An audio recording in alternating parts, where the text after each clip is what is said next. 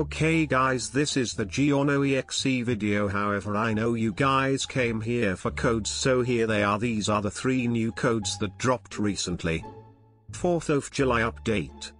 250 gems, 250 gold, exp 3. Fruity Submore. 250 gems.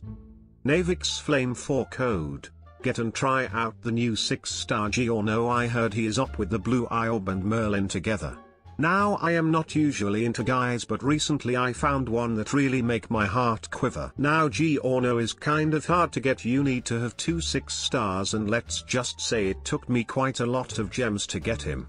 And also he needs a ton of units to evolve him so you will have to grind the Jojo Bizarre adventure map quite a bit. Okay now that we simped and gave all of our resources for this sexy boy let's see if he can help us get some orbs and then try him out with Merlin and the Blue Eye Orb, that is my main man Gojo's Orb. Here are his stats in case you forgot or you thought this was a showcase video. Check out that ability range and this is with our Merlin buff. Wave 5400 million damage that is not bad I wish we brang a winter wave 63 easy. Alright now guys let's check out his range when we buff him all the way.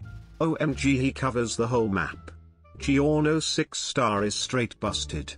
Maybe I should think about boys instead of girls now, or maybe he is somewhere in the middle because JoJo anime be like that.